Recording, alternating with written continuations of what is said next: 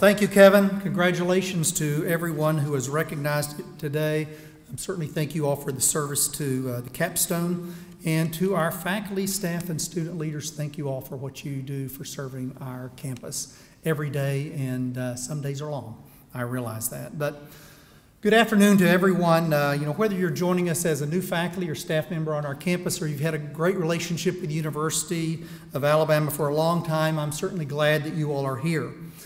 As president, I am asked to speak often and to very many different type of audiences throughout the year. And sometimes those are at recruiting great students, um, certainly to our campus, which is our aim. It may also be talking with alumni, it may be talking to prospective donors who love, uh, who love this institution so much. Um, and in the last few weeks, uh, just to give you a, a flavor of that, I have spoken to many, many different high school student groups, to counselors, to parents, in Nashville, Memphis, Huntsville, Mobile, Dothan, Gadsden, Tuscaloosa, Birmingham, Montgomery, Florence, and then last week I was in Fairfield, Connecticut. And then with supporters, alumni, and civic organizations in Orlando, we had something going on there. Selma, Memphis, Mobile, Montgomery, Birmingham, and many other places. But I do want you to know that there is no place that I feel more comfortable and I feel more welcome than right here with our campus community because it is us that all pull in the same direction. So thank you for being here today. You know, from time to time, people will ask me about how is it that the University of Alabama is accomplishing so much. We have so many achievements. They see the impact that UA is, being, is having on young people and on the community, the accolades that our faculty and staff, all the accomplishments, and I tell them that the reason is simple. First, we reflect on our rich history that we have at the university as the state's first public college. From the past, we can see the path that's carved out to the current status as the state's flagship university and as a national leader. And of course, we look ahead and we can visualize the future already. UA is enhancing the quality of life for the communities around us and across the nation. Our sphere of influence is broadened to include all people. So, what is the reason for our success? Well, the reason is in this room, and that is our people. It is us, it's on the campus, it's our faculty, it's our staff, it's our students who give this university its life and who are living out the mission of the University of Alabama every day. From the food service worker at Lakeside Dining that I got to visit with as we opened up that new facility, that person is providing nutritious meal for our students and some really great meals too, I might add. To the 91 University of Alabama police officers who serve around our campus each day. It's you, it's I, and it's our people. We're the key to the success. And I'm certainly proud to partner with you, each of you, in that role. It's really hard for me to believe that uh, this past July marked the beginning of my fourth year of Susan and I returning to the university as president. And I certainly remain so faithful to the university, but also just so privileged uh, to be working along your side. It's a great job. It's the best job. The old adage is correct is that time certainly does fly when you're having fun, but I think each one of us know that being at the University of Alabama, it's more than having fun. Right? It's a mission. It's hard work. It's serving those around us every day. We do have fun too, though. And embodying university's core values, it requires a deep commitment from all of us. It takes dedication, it takes perseverance, it takes a heart for helping people that are around us, for pushing new discoveries through our research, through our scholarship, through our creative activities. Again, I couldn't imagine a better job or a better place to carry that out. In fact, the university and the surrounding community have always been warm, a welcoming place for Susan and I. We've always felt at home here, and I want to thank each one of you for making that possible. Thank you. Also, as president, I love talking with prospective students. As I was driving over here, I was texting someone, hey, I just got a note from a student. They want to have a VIP tour. Let's get it set up so that I can visit with them. I need to save them from making any other decision that wouldn't be good for them. But when I go to all the different locations of these uh, student admission receptions, I'm always aware of the pressure that the students are feeling as they're sitting in those chairs, they're trying to make the decision. It's an important, it's a big decision for them, it's a big decision for their families. And of course, we all know that higher education is, is very competitive now. And we do work very hard at the University of Alabama to bring in great young people. Great young people who want to impact their world or impact a corner of the world in a way that allows them to bring their talents to bear. So, at those admission receptions, students will also sometimes share with me their uncertainty of what they want to major in, of how to get involved. I remind them that there may be some parents in that room who aren't quite sure what they're going to do either. But all of the students want to find a place where they feel like they belong. They want to know that they're making the correct decision when they're applying to the University of Alabama and certainly when they're making that decision. So I emphasize to them and what makes you such an important part of what we do at the University of Alabama is that at the University of Alabama, our faculty, our staff, and other students work alongside new students to help them find their home here. I tell them that they are committed, that you are committed to their success. And I know that's true because I see it every day. In the evenings when I walk, I see lights on all across campus. When I go in early in the mornings, I see lights on on campus. I see you interacting with our students. Our low student to faculty ratio, I can assure students that at the capstone, they'll receive individualized attention. While they pursue superior education, I also tell them that they'll be able to find a warm, welcoming home. I also reinforce to them that at UA, students will be able to have personal interactions with their faculty. I tell them about you, the dedicated faculty who are experts in their field, but will also be mentors for them during their four years, or if they're doing graduate work, it may be two, three, or four years in that work. And I share with them on our campus, students will have the opportunity to try on new things. Maybe that's through joining one of our 600 campus organizations. I do tell them not to join all 600. But they have the freedom to investigate study abroad programs, to be involved with internships, to connect with what's important to them. You and I know that at UA, students are developing into the leaders that we want them to be so that they will have a global mind, a global perspective when they leave here. So I want to personally thank you all. Job well done. Because of you, the University of Alabama is thriving today and will be thriving tomorrow. Our campus reflects a diverse population. We have representation from each and every county in Alabama, from all 50 states, the District of Columbia, and 78 countries. We take pride in being a university that is inclusive and is supportive of backgrounds and experiences. And I think our students know that we have a creative, nurturing campus that is here to serve them. The season of fall will soon be arriving, at least from a temperature standpoint. We're keeping our fingers crossed for that. Uh, during the fall semester, I especially enjoy walking around our gorgeous campus, and I know you join me in, in thanking our grounds folks who make our campus one of the most beautiful in the South. You can clap, that's good.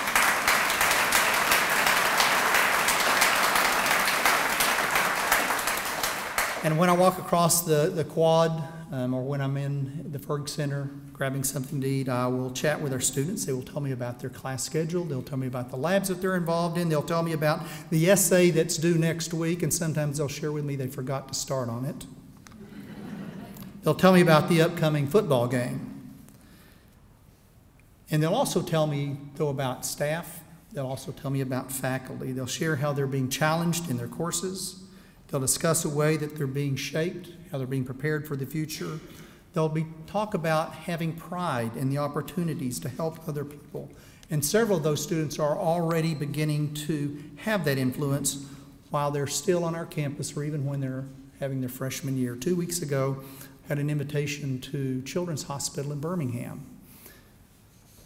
I wasn't for sure why they invited me to come over, but it was myself and a group of students. And it seems that seven years ago, we had a group of about 15 students who wanted to make an impact. And so these 15 students got together and they formed a group called dance marathon. And so it's the UA Dance Marathon team. Fast forward seven years uh, to last uh, two weeks ago, Children's Hospital was recognizing our students for raising over $1 million over the last seven years to support those young children who otherwise wouldn't be able to go to that hospital. And you know, it's a great mission that Children's has. But what was impressive to me is it took University of Alabama students a way to figure out how they can have an impact, and they made it happen.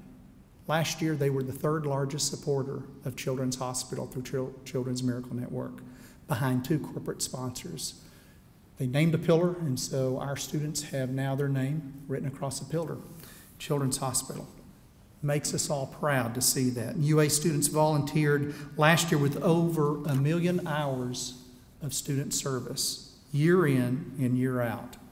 This year we have a new freshman, Sarah Lang, who's a business major. Uh, she's from Tuscaloosa again. She was recently awarded the Congressional Award Bronze Medal for providing service 200 hours of volunteer service while she was in high school. So you can imagine she was excited to go to get on board day. I hope she didn't join 600. But I know that she was able to get plugged in. She was able to find ways that she can continue to serve while she's here at the University of Alabama. It's something that draws our students to the universities. These students are the students that you teach, that you influence every day on our campus. They amaze us with their ideas, they amaze us with how passionate they are in playing a role in the university community. And make no mistake about it, they are watching you, they're watching me every day to see how we can be leaders for them so they can emulate that. You know, every year I'm astounded by the talent that the new semester brings uh, to our campus through those young people. It's impressive data that um, I share this time of year with, with you all, and I will, I will do that uh, again today. Um, this fall, we enrolled 187 new National Merit Scholars, up from 134 last year to now over 600 on our campus. We have one of the largest National Merit populations in the United States on our campus. The average high school GPA for incoming freshman class was 3.71, with over a third of those incoming students having a 4.0 or higher.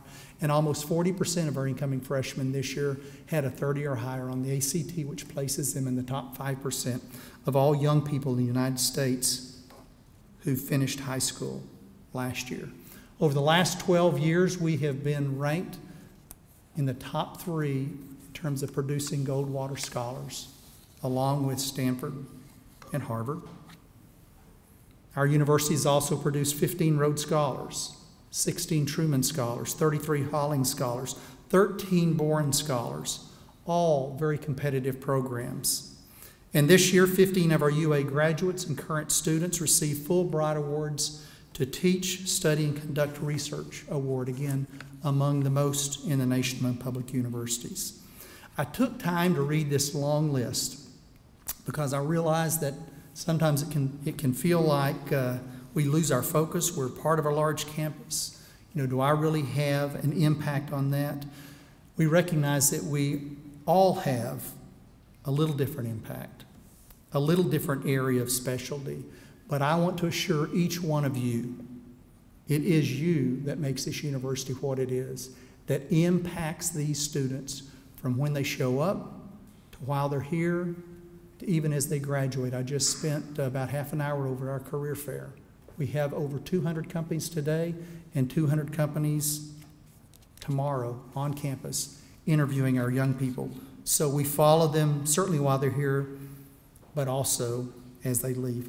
So those distinctions I shared just a minute ago are a result of you, of what our young men and what our young women can do on this campus. I read the same list when I was at President's Cabinet meeting uh, recently uh, because I wanted our biggest supporters to know what you all are doing, what impact that you have. You are the constant component for success at the University of Alabama. So it's also no surprise that our campus continues to be strong. We have a solid plan to further enhance our campus. One focus I'll share with you today is our focus on continuing to reach in state students for our campus. We remain firmly committed to educating, to graduating students from around the world but especially from Alabama because as a state flagship university, that's a vital part of our mission. To underscore that commitment to students who reside from Alabama, UA is offering more competitive scholarships for in state students this year. Spread the news. And unlike all other in state public universities, University of Alabama did not raise in state tuition for students this fall. We continue to enroll all qualified students from the University of, from Alabama to the University of Alabama. We want these students certainly on our campus. We're also increasing focus on transfer students and graduate students, and those numbers grew again this year at the university. So then, we must continue to invest to support future growth. You don't have to look very far from your building to see new investments that we're making, whether it's in buildings or whether it's in roads. All of those are purposeful projects that we're completing that help serve our research, help serve our student body, help serve us to make us more productive. I'm sure you heard of the announcement a week before last of a $26.5 million gift from Hugh F. Culverhouse Jr. and his wife Eliza. This is the largest gift in the history of the University of Alabama. Hugh was quoted as saying, I have an obligation on myself to make sure that this money produces something and that he wants to see the university among the best of all law schools. Because the faculty members in the Hugh F. Culverhouse Jr. School of Law recognize the importance of shaping the next generation of leaders, we know that that goal will certainly be realized. And then last week, one of our own graduates, Marillyn Hewson, whose impressive career as chairman, president, CEO of Lockheed Martin Corporation, and designation of the 2018 CEO of the Year with two degrees from the University of Alabama. And then last week, she was named number one on Fortune magazine's list of the most powerful women for 2018. And then just a few days ago, we announced plans for construction of our newest Culverhouse College of Business building, Hewson Hall. It will broaden the impact that Culverhouse has on the College of Business. But because of Marillyn and James Hewson's philanthropy, our business students will continue to reap the benefits and make even more contributions in their future professions. And these are just two examples of individuals who embody the heart of the university and truly, anyone in this room understands the value of a degree from the University of Alabama. And of course, we're grateful that some have the means to give back, to say thank you for what they learned on our campus. Their lasting legacies will impact future generations of students. But I also want to repeat what I said earlier our success is due to you. What you do every day matters. Donors like Hugh and Marillyn and James give to the University of Alabama because they believe in it. They believe in our mission. They believe in us. They believe in you. It's very personal with these donors. They believe in what you're doing. And to keep the bar raised to our standard of excellence, the university will continue to add faculty and staff to the ranks who will engage with, who will challenge, who will prepare our students for future success. As a university, we also continue to focus on the four pillars of our strategic plan. Those pillars include providing a premier educational experience, increasing their productivity in innovation, research, scholarship, and creative activities, providing and accepting inclusive environment, recruiting and retaining the best faculty, don't those pillars seem strikingly similar to the things that I've just been talking about? Those are the things that we're doing at the University of Alabama. Clearly, the strategic plan not only embraces our dreams for the campus, but also aligns with what we're currently doing and where we're being successful. We are on the correct path, and we will continue to be successful. We will tune our plans, we will make adjustments where we need to and we'll share that impact and those outcomes with you. But let me close again by thanking you for what you do for our students in your fields of expertise and by challenging you to remember that while we have had great accomplishments, there's also still much to do. but we all work as one team, and we have got a national championship team right here in this room. As I look around, I'm reminded of, of our campaign where legends are made. It is about the past, it's about the present, but it's also about the future. And each one of you here plays an important role in that.